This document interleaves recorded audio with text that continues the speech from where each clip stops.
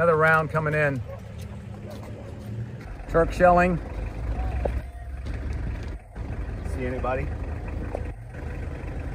So I, I just watched it land right There's- there there's a behind vehicle that up there. There's a vehicle And up then there. there's one right here. Yeah. Do you have a tourniquet on? No.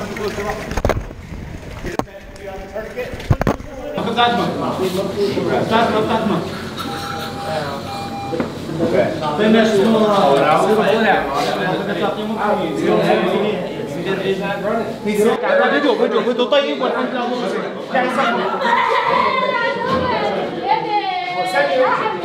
لا خف هو عايش عايش عايش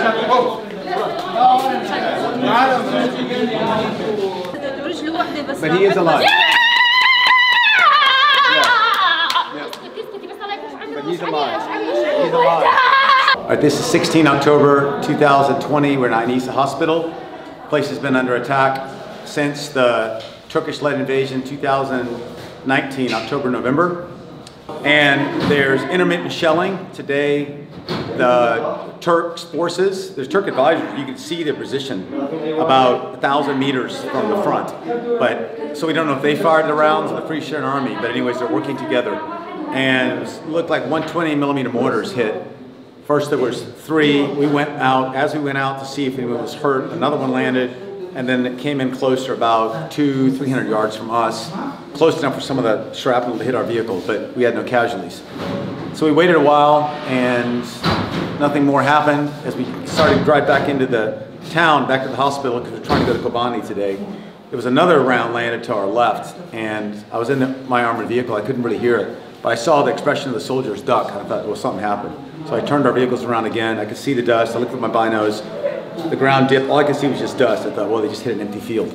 But it turned out there was a group of sheep down on the dip. This is about 800 yards away from us, and there was a little boy and two men. And both men were lightly injured, but the boy had his one foot blown off and then severe injury on the other leg, and um, he had injuries all over his uh, pelvis.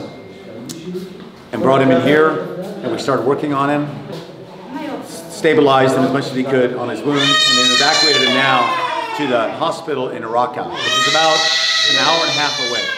And we pray he lives. His name is Aram. We pray he lives in Jesus' name. Amen. Our team stabilized him, and working with the local doctors, were able to keep him alive, and his airway was good. He was breathing well. His pulse came up. We had fluids in him. We had oxygen on him. Had the bleeding stopped. Put him in an ambulance to take him to Raqqa to a bigger hospital, and he died somewhere between the ambulance ride and Raqqa itself. And we are very sad about that. The mother was wailing and crying. We thought, I'd hoped and prayed he would live, but he didn't. And that's just the latest. Over 10 kids have been killed recently by the same Turkish strikes, and these need to stop. Not only need to stop, this kid himself had been displaced earlier.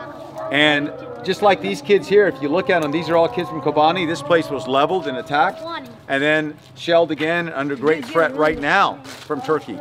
Turkey has claimed this area of Kobani. And so we appeal to God and to the United States and to all countries, to France and every country who cares, stand for these people and tell the Turkish government we are your friends and good friends will not allow you to attack our other friends. This world is big enough for all of us. And so thank you for praying for these kids. We don't want them to die like that kid today. And I pray for the mom and dad and family of that boy. And Lord, give them comfort and a vision of him in heaven, please. In Jesus' name, Amen.